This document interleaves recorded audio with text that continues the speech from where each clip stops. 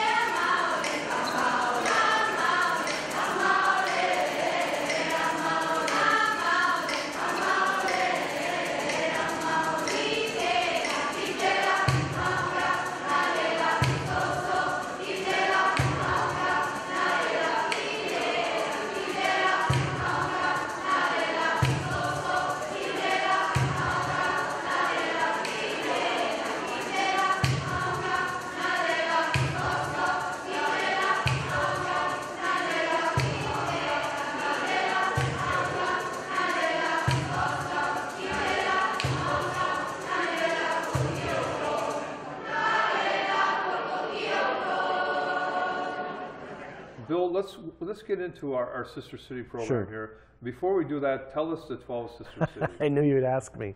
Uh, well, the Sister City program uh, itself has been around since 1955 when President Dwight Eisenhower started the program following World War II as a way uh, for people to um, actually, you know, citizen di- diplomacy. So that his idea was that if people around the world got to know each other on a personal basis, that we might have less chance to have conflicts in the future.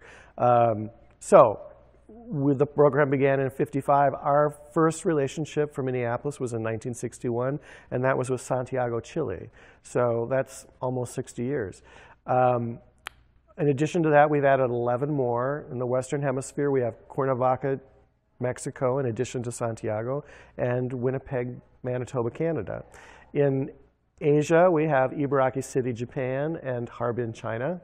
And in Russia, we have Novosibirsk, Russia, which is a sister city that we share with the city of St. Paul.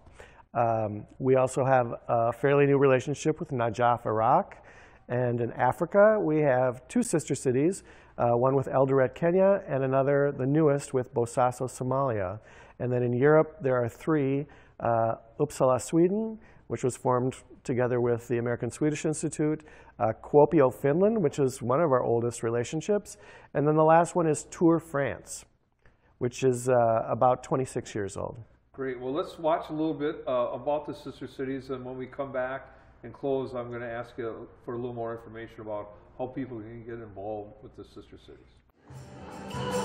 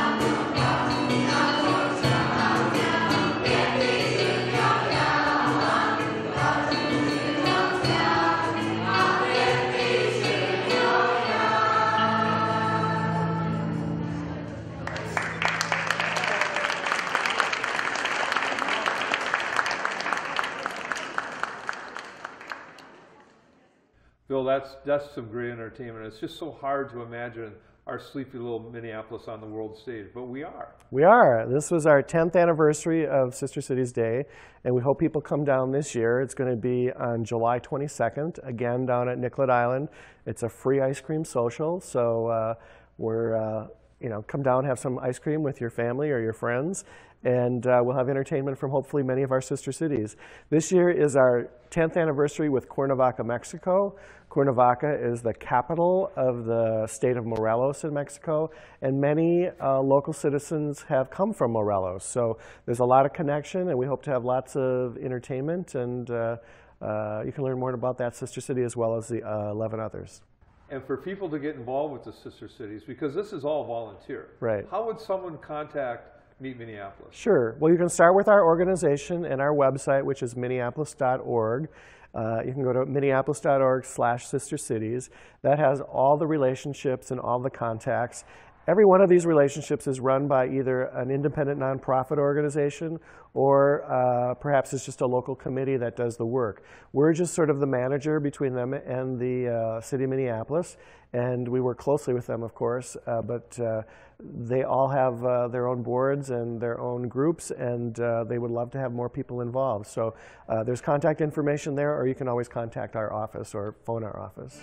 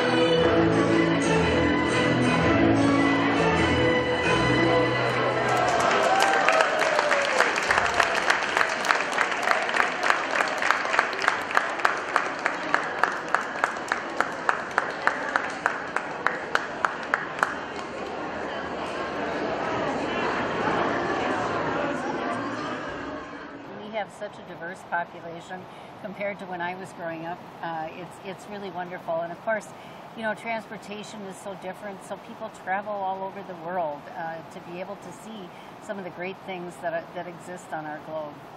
And the vitality that Minneapolis has because of its immigration, its, its recent uh, rise in population is directly tied to the immigration and the opportunity to work here. The, absolutely. You know, we've seen revitalization of our commercial corridors, uh, Lake Street in particular, because of Hispanic immigrants, and um, you know, our Eat Street with uh, uh, people from Asia and our Somali population. I mean, it's really been remarkable how things have changed in this city. It's really all about citizen diplomacy, really people from different countries, different cultures getting to know each other. And so when you find a city that you have something in common with, it's not uncommon to really establish a, an ongoing relationship with them. For example, Santiago, Chile, we've had a relationship with since 1961 Hmm. up into uh, Najaf, Iraq, uh, more recently. Uh, Cuernavaca, Mexico. We have things in common with people from around the world, and I think that really reinforces the fact that there are so many similarities that we have.